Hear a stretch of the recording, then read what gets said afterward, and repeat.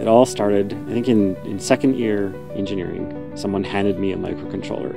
And at that very moment, I said, This is what I want to do.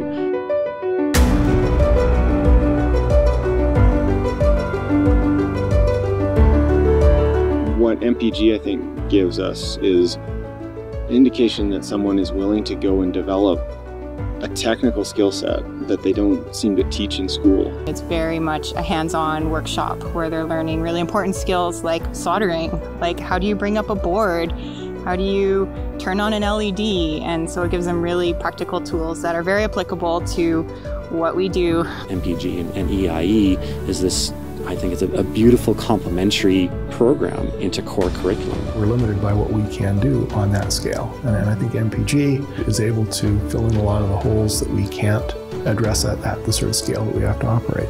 They have to go and spend their own time doing it. They have to build it themselves. And that's an indication that they're really serious about being in this industry. Interns show us well, this is the base of the project, and you know, we had to do these few things. And here's how I augmented it, and it really brings out the students that are really interested in doing embedded software, doing the type of work that we do, and that, that sets them apart from their peers. If they started in MPG, they're, you know, first of all, a leg up on, on the rest of the class when they come to that material in their third and fourth year classes.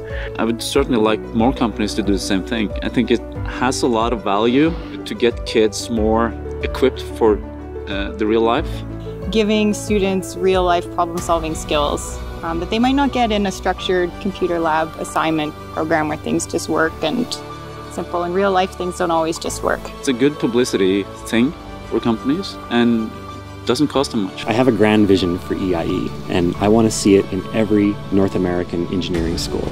I want an outstanding relationship between the universities that we're working with and the colleges, the local industry, and the students to have all of them just know that they have to have this program, that there's so much value for the university, for this industry, and for students and their leaders that this is a must have. And they'll start to trust the program that this is truly driven by passion because we all want to get better at being engineers.